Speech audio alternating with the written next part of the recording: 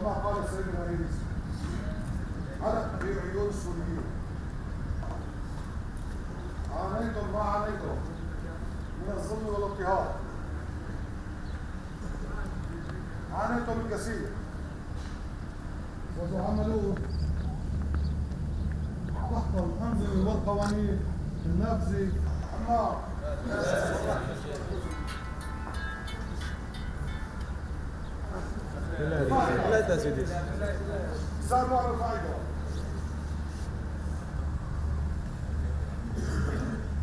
العالم أول شيء قالوا لي هنيك بدي يعذبوك بدي يقتلوك هنيك ما بيرحموا حدا انك متخلف وخاصة متخلف أربع سنين.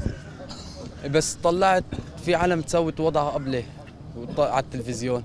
قلت سعري بسعر هالعالم. أشو الله كاتب بصير جمعت عيالنا وطلعنا جهزنا حالنا على المعبر شارع 30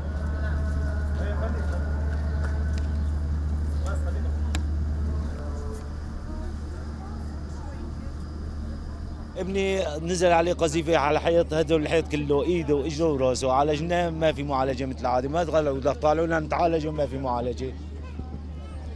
بعدين عند اللي طلعنا امبارحه الحمد لله رب العالمين. دواء كوني بس إنه نعالجه وبعدين يطلع الجيش وناخذ احتياط ونحن مستعدين كمان نحن احتياط